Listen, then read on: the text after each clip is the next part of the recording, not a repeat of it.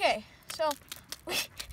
all right, so we got we got we got him out, and now we're going to throw. We're actually going, She's going to put him right here.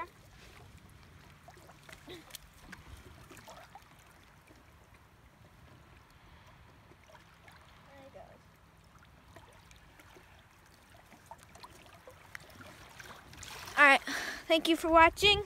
Uh, please like, subscribe, and share with your friends, and I'll see you in the next video. Bye.